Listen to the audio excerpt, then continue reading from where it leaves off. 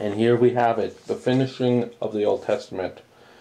Just one thing I wanted to get out of the, uh, Tuesday. First thing, the Old Testament condemns all of us. Every one of us.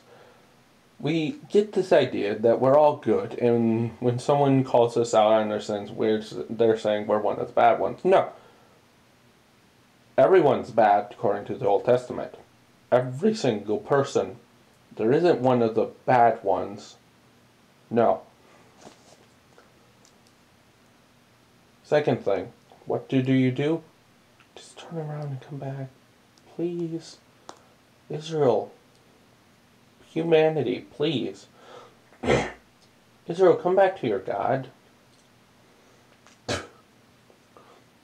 Stop this works by faith or works salvation by works religion.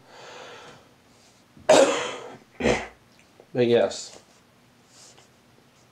that's the message. Come back, please. And that, let's read, just as a reminder, Genesis, Exodus, Leviticus, Numbers, Deuteronomy, the law.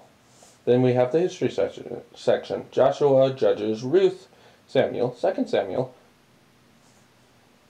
First Kings, Second Kings, First Chronicles, Second Chronicles, Ezra, Nehemiah, and Esther. Then we have the wisdom section. There's Job, Psalms, Proverbs, Ecclesiastes, Song of Songs. Then the prophets.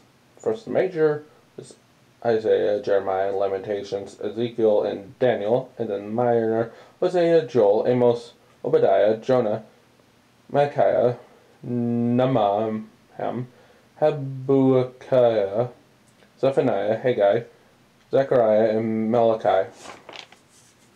And there, there's the Old Testament.